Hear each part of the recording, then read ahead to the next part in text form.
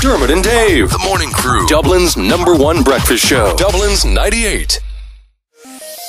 I could not believe my eyes when one of those Chelsea guys texted all these nudie pics to me. Came straight into my inbox. Ashley Cole in his jocks, and this one's just him in his football socks. Oh, I just heard my phone go beep. It's a message from John Terry. His missus has just got to town. Do I want to come around to do a bedroom exercise routine? If you know what I mean. Why do they do this to their wives? Chelsea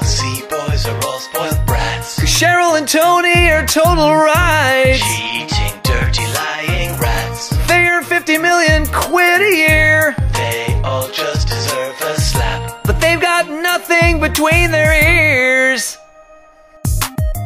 I slept with half the Chelsea team. Not just Ashley Cole and John Terry. I heard that Chelsea signed two players just the other.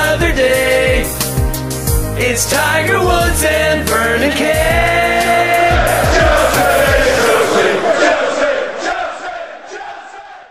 Dermot and Dave. The Morning Crew. Dublin's number one breakfast show. Dublin's 98.